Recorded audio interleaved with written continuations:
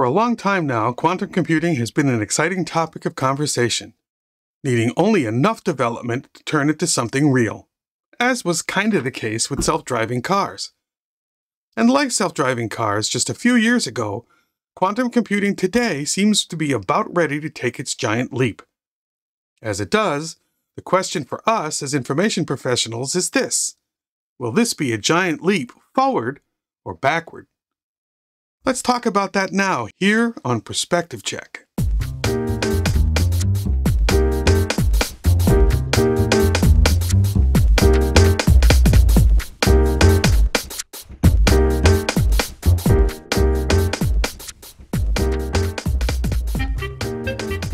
Hello, everybody, and welcome to this edition of Perspective Check. I'm Steve Weissman, the InfoGov guy, and I'd like to take a quick trip to the future and talk about what quantum computing could mean for data encryption and thus information security and privacy. The Financial Times, among others, reported just days ago that Chinese researchers are claiming they've found a way to use quantum computers to break the most common form of online encryption, RSA.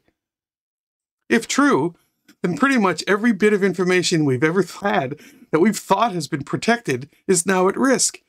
Something experts have been expecting, but not for many years yet. The purpose of this piece isn't to explain how quantum computing works, but rather to alert you to the fact that it may be emerging a lot faster than anyone thought.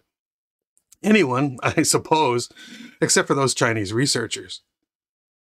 There are plenty who have questions about the precise nature of the reported breakthrough and just how near term the risk actually is. But we have to keep our eye on it because, as Sophos wrote in a Naked Security post the other day, RSA is still widely used, and there's still a lot of potentially crackable data sitting around in archives, log files, and network captures that was protected by RSA when it was transmitted. Scary stuff, and not a new concept either. I didn't want to take a lot of time looking up how far back I could find popular press references to making encrypted data invisible through quantum computing. And it took only seconds to find a Computer World article from March 21st, 2011, called The Clock is Ticking for Encryption. Even the NSA, yes, that NSA, got into the act in 2015 when it announced it was moving the encryption of government and military data to new cryptographic schemes that can resist an attack by quantum computers. It's now clear, the agency went on, that current internet security measures and the cryptography behind them will not withstand the new computational capabilities that quantum computers will bring. If this is all news to you, then it's high time you started paying attention to it. And if it isn't, I'd love to know, as we all would, what your current thoughts are about it. How real is the threat? How soon till it becomes manifest? What kind of countermeasures are you contemplating? At this point, nobody seems to have any concrete answers to any of this.